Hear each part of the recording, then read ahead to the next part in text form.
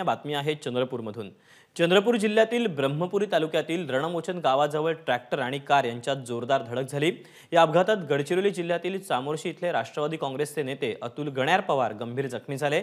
तर त्यांचा चुलत भाऊ आनंद गण्यार पवार यांचा घटनास्थळीच मृत्यू झाला. अतुल गण्यार पवार यांना उपचारासाठी नागपुरात हलवण्यात आले. ही धडक एवढी भीषण होती की ट्रॅक्टरचे दोन भाग झाले. एबीपी माझा. उघडा डोळे बघा नीट.